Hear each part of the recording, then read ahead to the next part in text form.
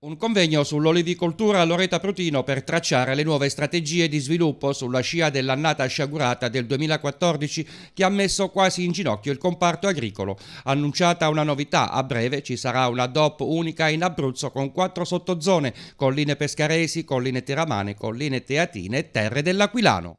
Proprio qualche settimana fa ho convocato il tavolo della filiera dell'Orio. In regione e abbiamo condiviso con i tanti attori di questo settore meraviglioso di unire le DOP abruzzesi e costituire un'unica DOP che possa dare un contributo importante per la promozione del nostro olio abruzzese. Inoltre, come dicevi, ovviamente abbiamo parlato del PSR, una filiera importante sarà rappresentata dal settore olio, ma condividere insieme queste strategie possono portare sicuramente a risultati positivi anche e soprattutto per il triangolo d'oro dell'olio, ovviamente in questo territorio. È arrivato il momento di ripartire per ridare un segnale forte a tutto il mondo del comparto olivicolo. Come ho detto prima, eh, noi siamo mancanti su una cosa, su quella che è la redditività per, per, i nostri produttori e oggi è il momento, visto che ci sono queste opportunità dall'Unione Europea, di unirsi per gestire al meglio queste risorse.